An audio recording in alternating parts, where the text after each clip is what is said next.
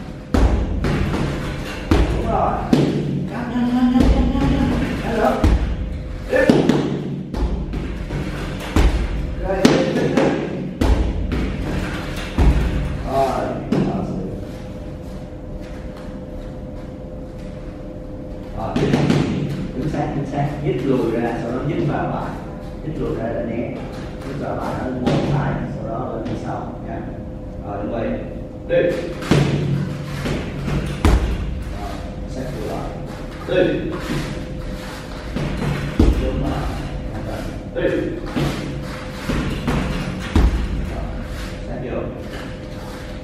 对。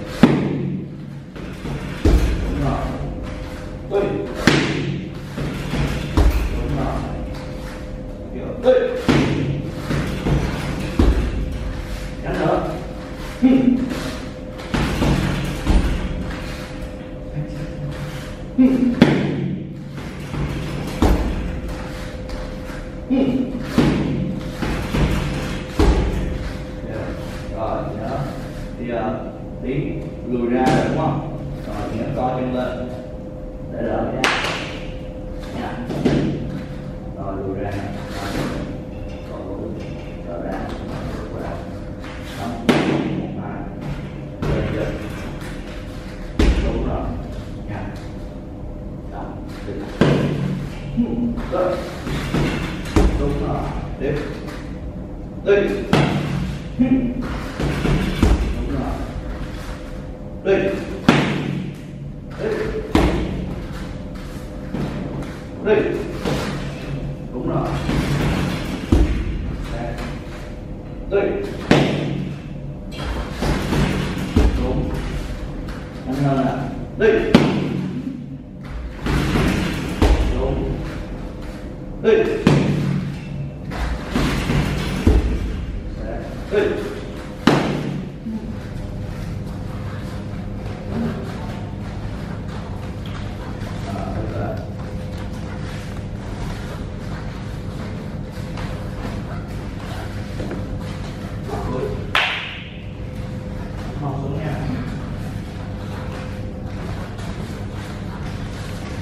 对。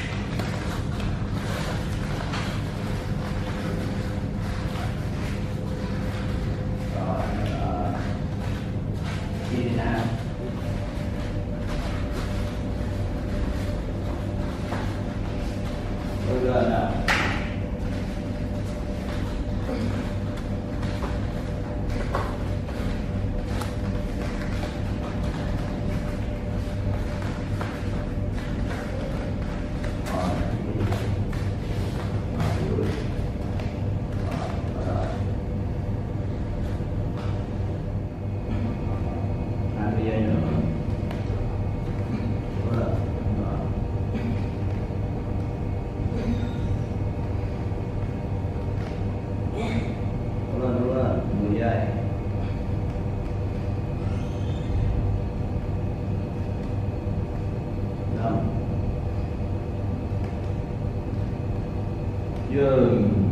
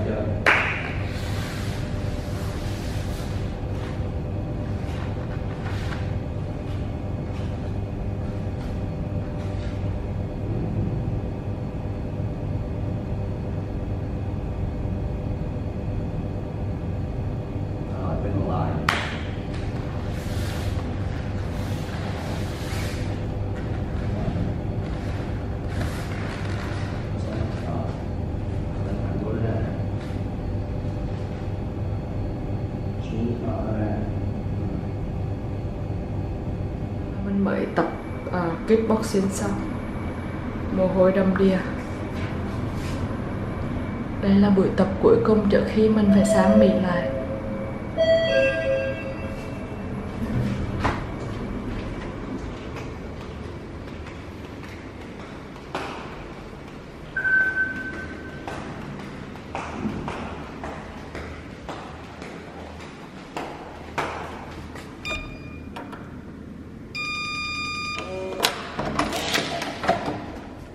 Bây giờ là đồ đạc trong nhà rất là ngổn ngang Tại vì mình đã chuẩn bị đóng đồ Để sang Mỹ.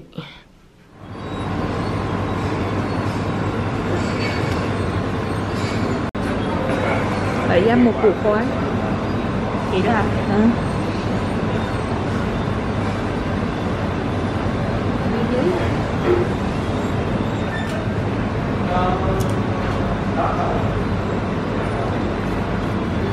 cho em cái đĩa với cái giáo này nhé. Em lên trên tân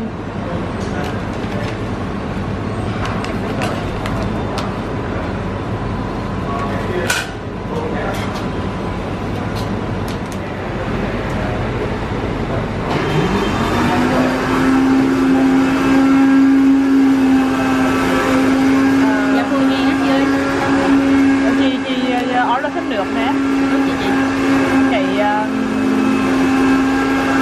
còn nước chứ ha Cà, cà phê mía cho chị ít ngọt ấy. cà phê mía phải không chị mà ít ngọt á ít ít cái đó ít nước mía mía mà chị đâu có đường đâu mà ít ngọt tức là ít ít mía thôi á mía thôi nha Dạ rồi.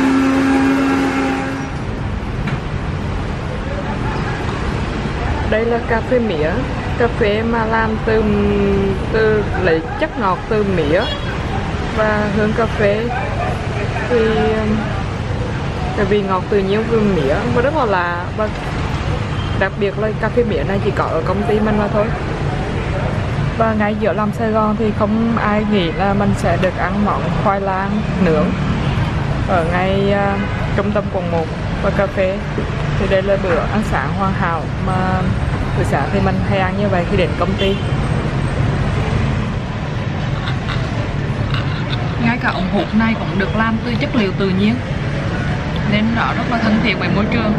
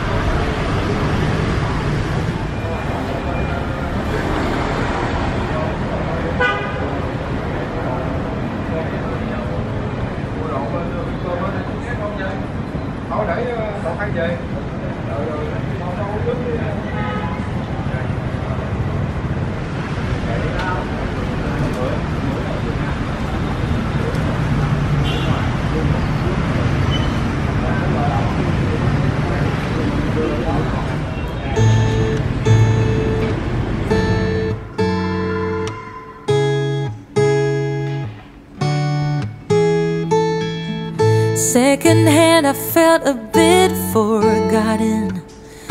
Not your plan, but now the days of silence outgrow the fun. things we have done. But tell me, do you wanna carry on? Plants don't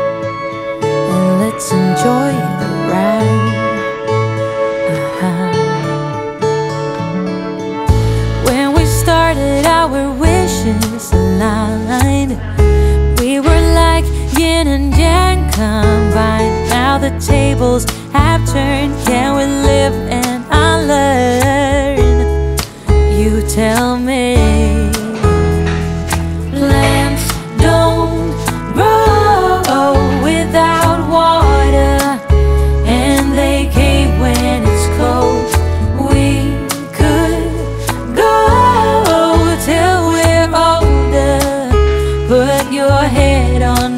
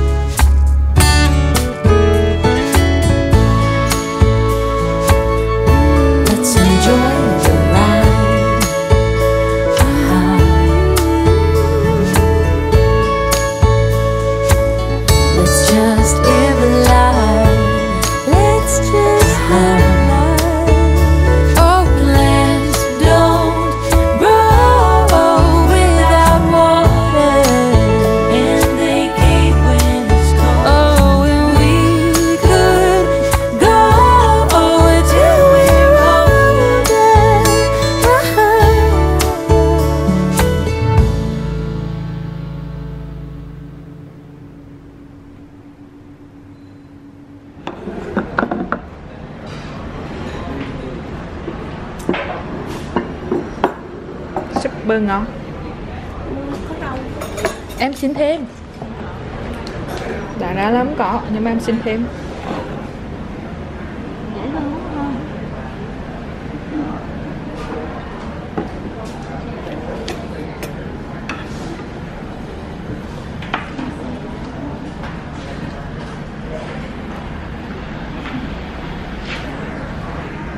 Hôm nay là mình ăn chay có chả kho chay rau củ luộc canh cơm lứt.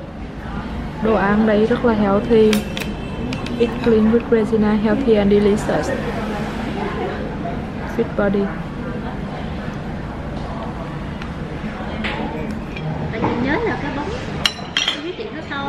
Không cả bụng nó có nhỏ chứ cả bụng nó đặc điểm của cả bụng nó nhỏ á không chị nhớ nó to mà ngày đi em ăn cháy, xả mang nguồn cháy rồi không biết hôm nay là ngày nào thì sao mà nhỏ chi mà biết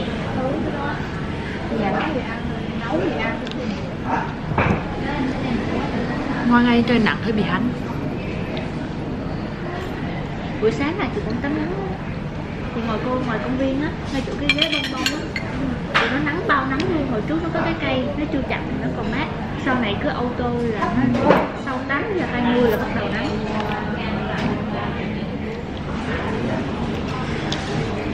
Em phải gọi là bánh như chim không con chim của em nó là sụp có dữ rồi. Cái gì bình thường nó đâu bay vậy?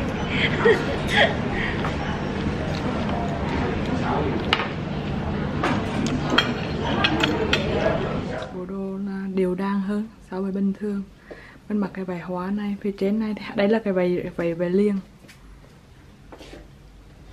vì vì vậy là đã có màu sắc rất là nổi rồi, nên mình chọn một đôi bông tay và một sợi dây chuyền màu trắng.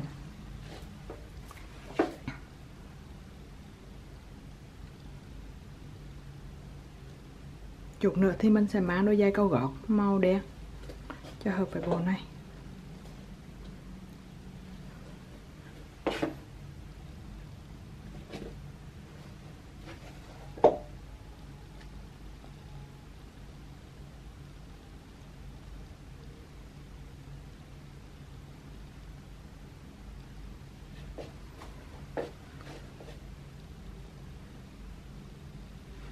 Cái vải này thì rất là dễ mặc tại vì hằng có cái beo à, tại vì nó có cái beo nhũng ở đây thì mình có thể ăn nhiều hay là là, là sẽ che được cái phần bụng của mình nếu mình à, lỡ ăn nhiều.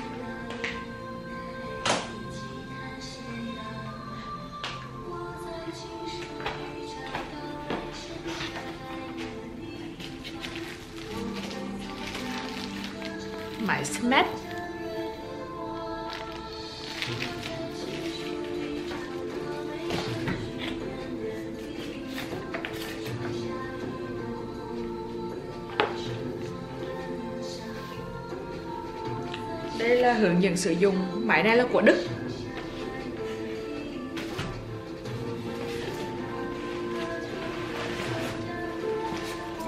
Máy này thì mình mua ở Hà Nội.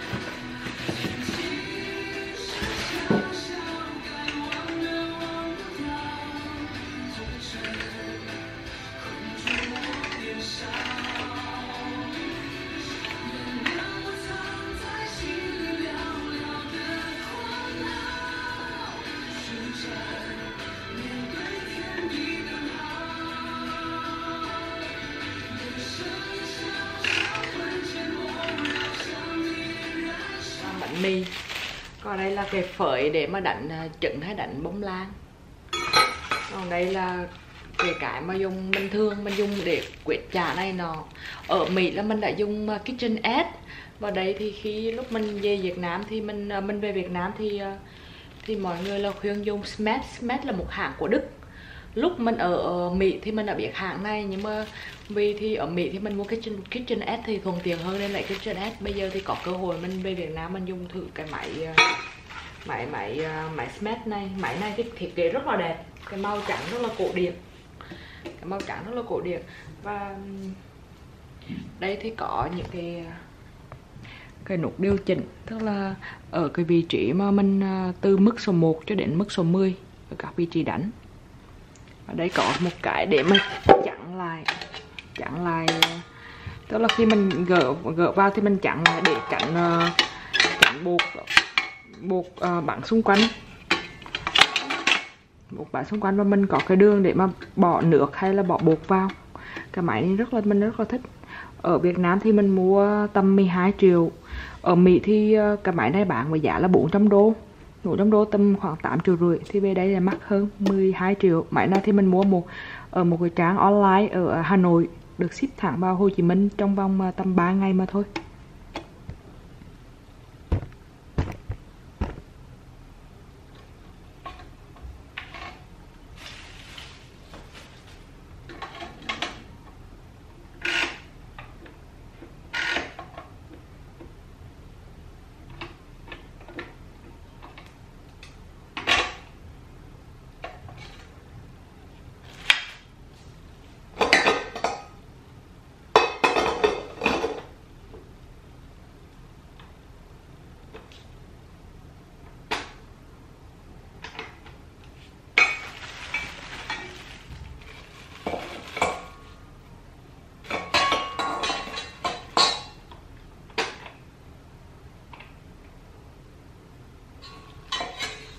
cái máy này rất là đẹp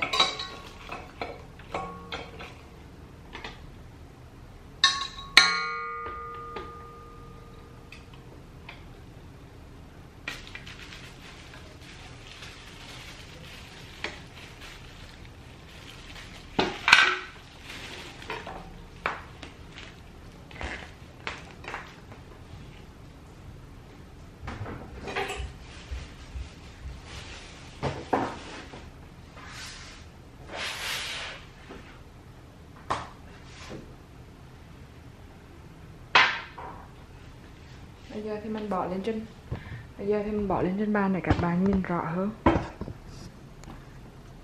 Đây là toàn cảnh cái máy. Smart.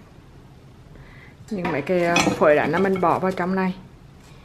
Trong này có một cái phổi đánh phụ. Và đây có phiếu giao hàng của một công ty ở Hà Nội. Thì trị giá cái công ty này là trị giá cái máy này là 12 triệu. Nhìn rất là đẹp, rất là cổ điển và rất là đẹp và máy này được ờ, review rất là tốt. Bây giờ thì mình rất là trông đợi làm rất là nhiều món từ cái món bánh từ cái máy này. Ở đây các thùng của nó. Tôi được đóng gói rất là kỹ.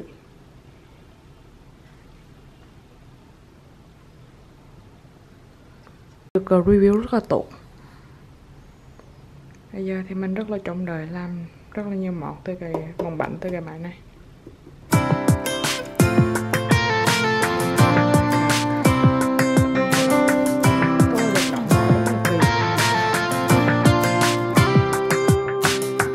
Too many stories.